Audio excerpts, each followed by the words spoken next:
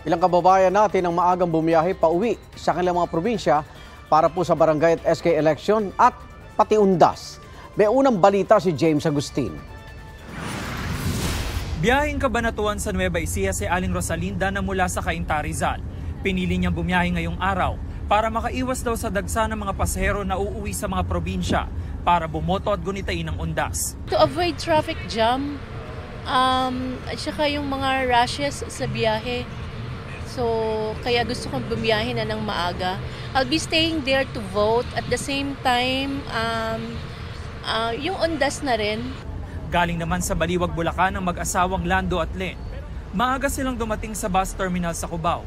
Ang kanilang destinasyon sa Calbayog City pa sa Samar. Uwi raw sila para makaboto sa susunod na linggo. pasikip nga ang ano, kaya kasi kung last hour na, dami nang magsiuwian. Kaya ngayon na lang, maaga pa.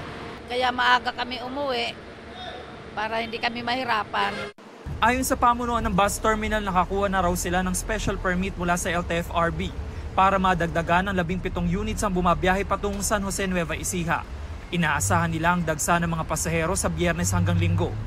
Ito ang unang balita. James Agustin para sa GMA Integrated News.